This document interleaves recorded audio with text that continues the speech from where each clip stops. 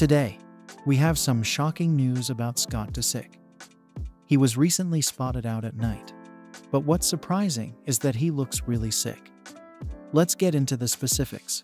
Over the weekend, Scott Disick was seen exiting a nightclub in Los Angeles with a mystery woman who has since been revealed to be Sarah Bauer, the 28-year-old employee of Universal Music Group, and the 40-year-old Keeping Up with the Kardashians star enjoyed a casual outing on Saturday night following a night of partying at Austin set. On the occasion, Bauer was dressed in a maroon dress and black stiletto heels, and was pictured sitting in the back of a van beside the founder of Talentless. Regarding how he looked, Scott Disick went for a more laid-back style, wearing a brown t-shirt, black trousers, white sneakers, and a black jacket.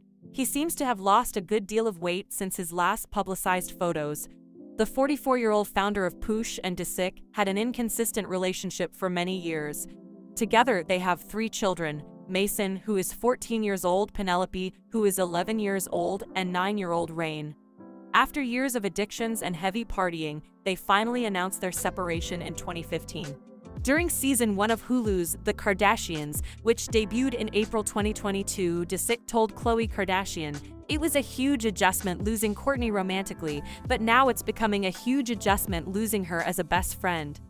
It is still unknown as to why Scott has lost so much weight. Has he gotten into the Ozempic trend, or is he sick? Only time will tell, but his recent night out has got fans worried about how he is doing. Tell us in the comments what you feel about Scott's sudden weight loss. Don't forget to like the video and subscribe to the channel for more updates on what's happening with your favorite stars.